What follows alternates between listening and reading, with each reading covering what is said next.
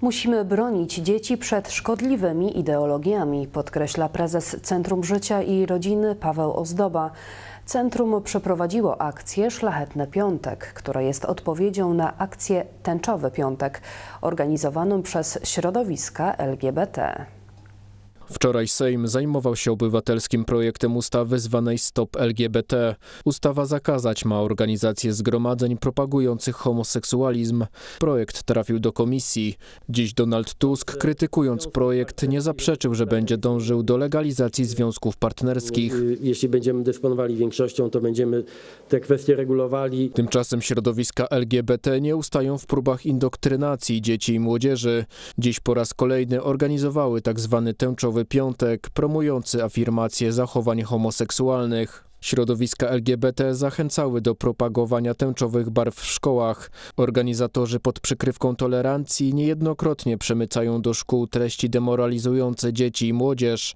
Lewicową akcję kontrolowali kuratorzy oświaty, mówi minister edukacji Przemysław Czarnek. Dyrektorzy szkół i nauczyciele mają obowiązek przestrzegania obowiązującego dzisiaj prawa oświatowego i tam nic o tęczowych piątkach nie ma. W odpowiedzi na tęczowy piątek Centrum Życia i Rodziny zorganizowało akcję Szlachetny Piątek. Zwolennicy inicjatywy umieszczali w sieci zdjęcia w białych ubraniach z hashtagiem Szlachetny Piątek. Jak mówi prezes Centrum Paweł Ozdoba, wszyscy musimy bronić dzieci przed szkodliwym wpływem lewicowych ideologii. Oczywiście wiele jest mowy o tolerancji, ale jednocześnie tą tolerancję rozumie się poprzez atak na rodzinę, atak na małżeństwo jako związek kobiety i mężczyzny.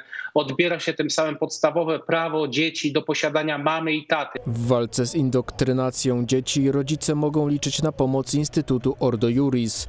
Na jego stronie dostępne jest oświadczenie, za pomocą którego każdy rodzic może wyrazić sprzeciw wobec działań szkoły, mówi mecenas Nikodem Bernaciak jeżeli coś się wydarzy y, sprzecznego z, y, z, przekonaniami rodzica, naruszającego jego konstytucyjne prawa, y, dyrektor będzie wówczas nieco bardziej wyczulony na takie mm, kwestie i będzie też świadom swojej odpowiedzialności. Według pedagog Anny Kołakowskiej kadra szkolna narzucająca ideologię powinna ponosić konsekwencje. Dyrektor, który pozwoli na mm, propagowanie treści homoseksualnych w szkołach, powinien być natychmiast natychmiast zwolniony e, przez ministra edukacji i tak samo powinno być z nauczycielami. Zagrożeń dla dzieci i młodzieży jest więcej. Dziś i przez weekend odbywać będą się imprezy związane z Halloween. Podczas uroczystości Wszystkich Świętych wspominamy właśnie Wszystkich Świętych, a podczas Halloween wspominamy jakieś duchy, jakichś e, zmarłych, którzy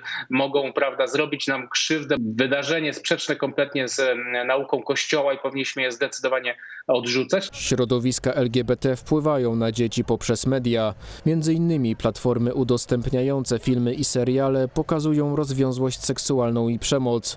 Psychika młodego człowieka jest podatna na taki przekaz, mówi działacz pro-life Halszka Bielecka. W konsekwencji rzeczywiście może doprowadzić do tego, e, że dzieci stają się jeszcze bardziej odseparowane e, od swoich rówieśników, od wartości, od e, też społeczeństwa. To prowadzić może do aktów przemocy, ale też prób samobójczych.